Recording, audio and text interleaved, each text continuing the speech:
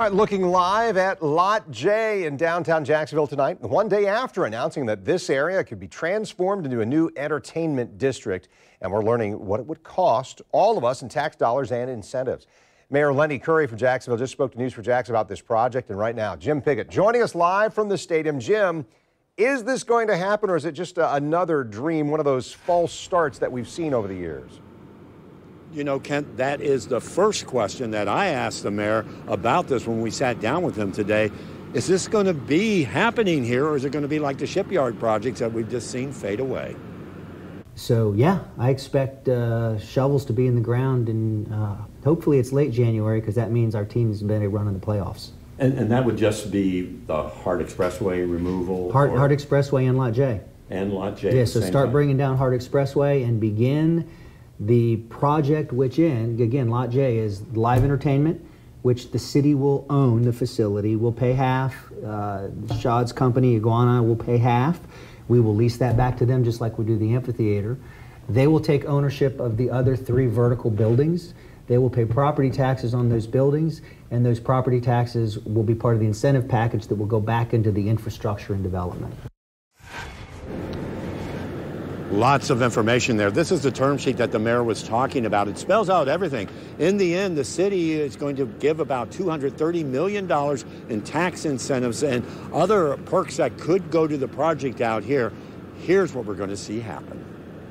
The plan is to turn this parking lot into this another entertainment complex known as Live. This is video from the Cordish companies, which worked out the deal with the city and the Jags. There are live venues like this across the country, in places like Kansas City and Baltimore, which is a stage with several levels of bars and restaurants, similar to the landing during its heyday. To make that happen here, the mayor is proposing to pay up to $50 million, half of the total cost to build it making it the third entertainment venue at the sports complex with the arena and amphitheater.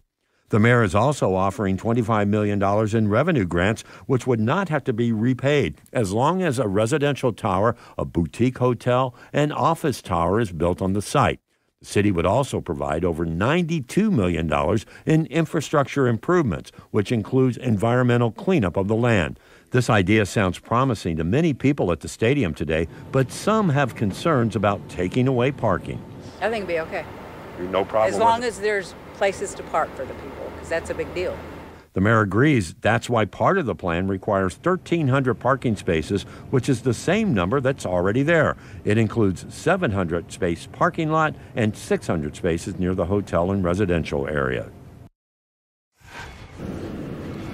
I want you to take a close look at the rendering here that they sent. And you can see Lot J there, but you can see this also extends to the other part, over to Metropolitan Park. I asked the mayor about that today, and he says, well, that's down the line. Those are future plans. Their main focus right now is the vertical structures that they're going to put here and that live venue. And again, he says we could begin to see construction on the buildings in January. We're live from the stadium. Jim Piggott, Channel 4, the local station.